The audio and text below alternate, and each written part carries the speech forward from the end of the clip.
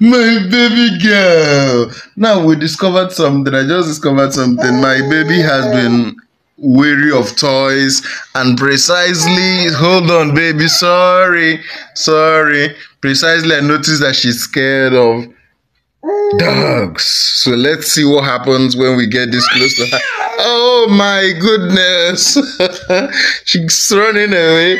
Mama rito see it's just a dog. See see see it's not biting. It can't bite you. See it can't bite you. See it can't bite you. Say hello dog.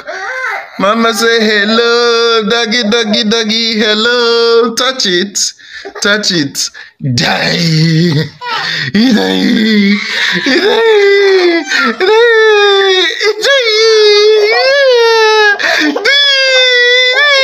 Very good, very good. So don't be too scared, right? All time. I have it.